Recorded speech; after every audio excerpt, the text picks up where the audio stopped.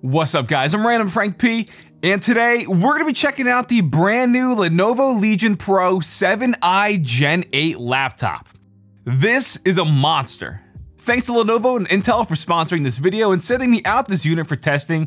Laptops are one of the things that I really wanted to start to dive into more on the channel, and when I heard at CES about their LA1 AI chip, which uses AI to tune the system's performance for a better gameplay experience, I definitely wanted to check it out because combining AI with hardware for gaming sounds like it would be a game changer, no pun intended. Now, even though this video is sponsored, it doesn't influence my opinions at all. I'm still gonna give you a full breakdown of my thoughts, full benchmarks, you can see the raw performance here, and I'm not even keeping this unit. So with all that said, let's dive in. This is the Lenovo Legion Pro 7i Gen 8 model. They also have a Pro 5i Gen 8 model, but this one's, you know, more spec to my liking, and this is way more powerful than my current gaming laptop I have with an RTX 2070. This has a 13th gen Intel Core i9 13900HX CPU and an RTX 4080 graphics card, which also even outperforms my desktop PC. Taking a look around for I.O., on the left side of the laptop is a Thunderbolt 4 and a USB 3.2 Gen 1 port with the exhaust vents running towards the back. The right side features those same exhaust vents with a second USB 3.2 Gen 1 port. Then is your webcam privacy cover switch and your 3.5mm audio and mic combo jack. Then along the back side is an ethernet port, 140 watt USB-C 3.2 Gen 2, which doubles as DisplayPort 1.4, HDMI, two additional USB 3.2s, and the power input surrounded by more exhaust vents on each side. The trackpad isn't anything special with its plastic finish and doesn't have like rumble haptics or anything to it. It feels like a standard actuation, but I only use a mouse with gaming on my laptop, as do 99.99% of you gamers out there, I'm sure. Now, as a keyboard guy, straight up, I am just not used to using a laptop keyboard in this form factor. I'm sure you know if you follow the channel, I'm much more into the custom keyboards and the physical desktop keyboards, so Testing this and getting used to this, as you'll see, was a bit of a challenge for me. Lenovo calls it their Legion True Strike keyboard, filled with per key RGB lighting and different effects in Legion Spectrum that I'll show you in just a minute. It's a full-size layout with your arrow keys and a numpad, and inside is a membrane scissor switch. So Personally, you know, not my cup of tea. I'm just not a rubber dome user or fan, but they do have a 1.5 millimeter travel distance to them, and the keycaps themselves aren't squared. They have a very slight arc-like roundness to the bottoms to accommodate the shape of your fingertips. We'll do a sound test now so you could hear how it sounds.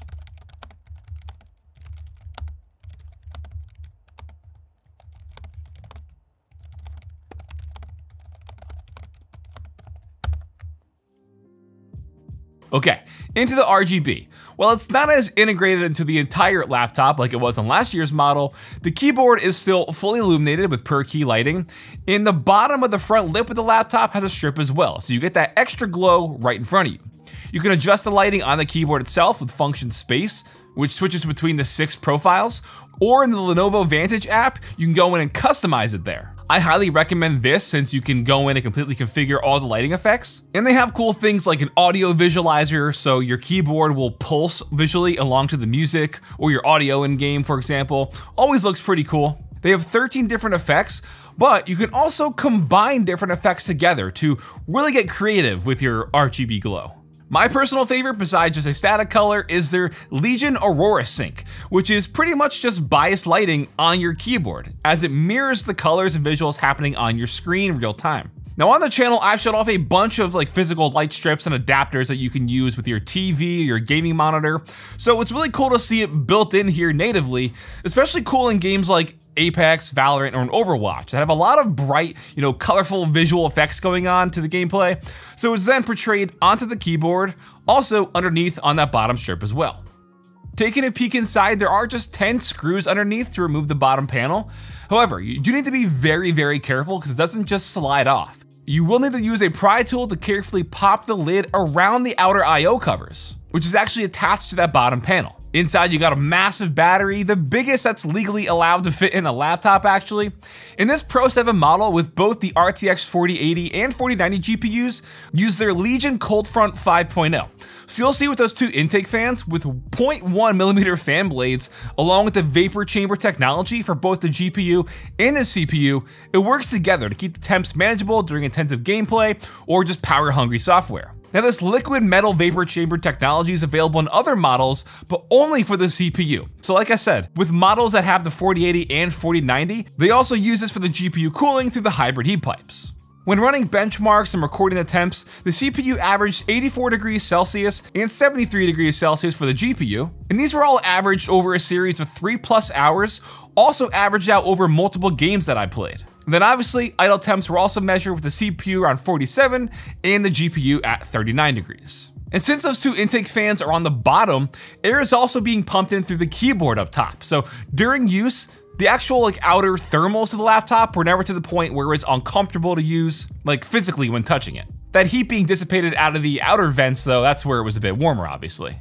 Now, let's do a deep dive into the display. First off, one of the most like literal make or break situations when talking stability are the hinges. I've hated over the years in the laptops that I've checked out that have like a wobbly screen where the hinges are too weak. And thankfully that is not the case here. This is literally the first thing I cared about when I got this in and unboxed it. The display barely has any flex to it, the hinges stay nice and tight, and you can open and close the display without the entire laptop lifting or moving as well. Another thing the hinges allow for is a display to lay flat, a full 180 degrees down from closed to fully open. This is admittedly something that I don't know how often I'll actually need or use, but it is possible here and goes to only impress me more that the hinges are so tightly secured during just normal angles and use that it still doesn't waver even when going fully flat like this. But for picture quality, the actual display here is their Lenovo PureSight gaming display at 16 inches with a 16 by 10, 2560 by 1600 IPS panel. It not only takes up 94% of the surface area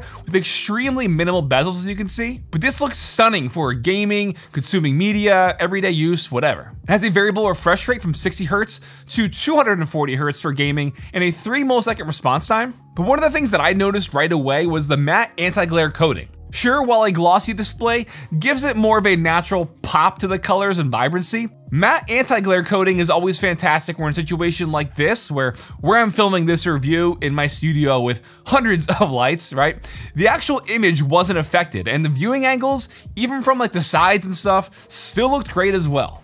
In their Vantage software, they actually have a built-in X-Rite color assistant, which lets you pick between different profiles and alters the display's gamma. So this can be changed if you're like primarily photo or video editing, for example, and want more that true Rec 709 image. But out of the box, it is rated at 100% sRGB color space, and it's capable of 500 nits peak brightness. Their default color profile though is what I had it at, and honestly, have no complaints. So again, for being a matte display, watching some movies, gaming, and just color visuals still looked great. Even just like loading up YouTube, for example, and watching some videos where it's like primary focus is to showcase those extreme examples of vibrant colors and these flattering subjects to highlight a panel's performance. At the end of the day, I have zero complaints about how this looks. So one of the biggest selling points to these Lenovo laptops, and really one of their biggest marketing points that I saw at CES, I believe two years ago at this point at CES 2021, is their innovation and the Lenovo LA1 AI chip, which is in this laptop. In this new wave of AI technology, their AI Engine Plus is pretty crazy. In Lenovo Vantage, this can be toggled on and off and combines the best of hardware and software tech using system sensors real time to optimize your laptop for better FPS and performance. So for the upcoming benchmarks, I tested everything twice. Once in performance mode, which, you know, increases fan speed, power consumption, so the laptop is physically giving it its all, hence the name performance mode. And then also in balance mode with the AI Engine Plus turned on, so it has that AI stuff going on behind the scenes. So you'll have both test markers there. This, especially for the games that it's optimized for, will have a little indicator badge in my benchmarks, and it's gonna be your best bet to have enabled for said games, since that's what's gonna give it the best, you know, performance instead of needing the actual performance mode turned on to push your system to 100% each time. So for example, when enabled in Lenovo Vantage, a CPU heavy game is gonna get more CPU power through TDP dynamic tuning and it'll ramp up fan speeds accordingly to keep the system from thermally throttling. Background tasks will close to free up system resources. AI Engine Plus is learning what you're playing, what's going on in the game at that moment, and adjusting your system so it gives you the best performance. Again, all real time and all without you having to go in and manually alter your in-game settings and the graphical settings to give you a better FPS boost. It's also doing things like using algorithms to improve your network bandwidth so you're not, you know, lagging in-game due to your network issues like you having 10 tabs of YouTube open, for example. And it disables the trackpad when using a mouse, so there are no accidental misclicks on the trackpad. With Intel's latest hybrid architecture, the 13th generation Intel Core CPU gives you the power to push your gameplay experience to that next level, especially for those more intensive games that require that extra power delivery. Using Smart Cache, the 13900HX uses expanded cache sizes that accelerates the processor for better performance and higher FPS in your games. Then when combined with the power of the AI Engine Plus, you're literally getting one of the most advanced chipsets that's constantly being tuned to give you the best gameplay experience. All at the click of a button as well.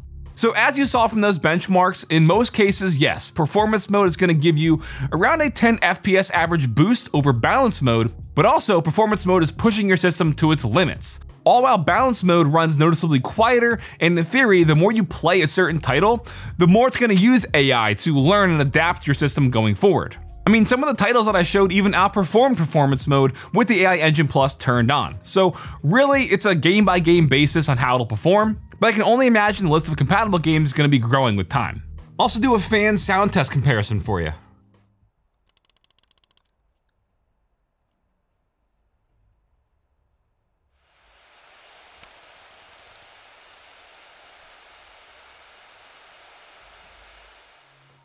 Now getting into the overall price to performance here for this laptop. Like I said in the beginning, I've been more personally interested in the laptop landscape, so I want to do more content on the channel. Uh, so I checked things out. And comparing this model to even Lenovo's last gen model, this is about $500 cheaper at launch, and it has better specs with the 4080 here versus the 3070 model. Even checking out other models with nearly identical specs out there, you can Google this if you want, it's nearly a $1,000 cheaper than that. So really, when you're talking current powerful hardware out there, and you take a look at other models, this I think for the price is one of the best price to performance laptops you can personally get. Now, that's all great. The performance, the specs, the display, this has so much going on that I'm a big fan of, but there are two things that I'm not necessarily in love with that I will bring up. First, as I mentioned, I really wish Lenovo would have kind of pushed it a bit more and found a way to put in mechanical switches. We know it's possible. Other laptops have done it. Kailh, uh, low profile choc switches. It could have been done. I would have loved to have seen that, but that's just from me, someone who's too much into keyboards. And also, not to like, you know, put it apples to apples against the last gen model, but this kind of takes away some things that I really liked on the last gen model. First up being the power button, uh, this no longer has a built-in fingerprint reader. That was really cool. Uh, there's less RGB on this model. The last one had integrated into like the vent. And also the back IO used to be illuminated, where on here, it's not. So just my two cents on those two points that I wish, you know, would have sort of carried over onto this model. I get that it's $500 cheaper and it's way more powerful, uh, but still, at the end of the day, jumping back into laptops on the channel, this is a hell of a one to start off with. Absolutely loving this. I want to hear your guys' thoughts. What are your thoughts on AI Engine Plus? Do you see AI playing more of a role in laptop landscapes going forward with how it can combine hardware and software to give better FPS in games? I want to hear your thoughts.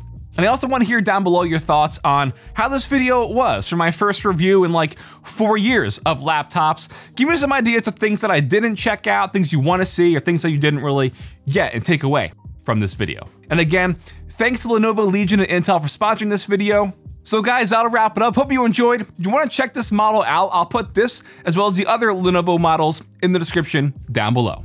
If you like this review, give it a big thumbs up, to show your support. Feel free to follow me on Twitter at randomfrankp. And last, if you haven't already, hit that subscribe button. Hope you all enjoyed. Have a good day.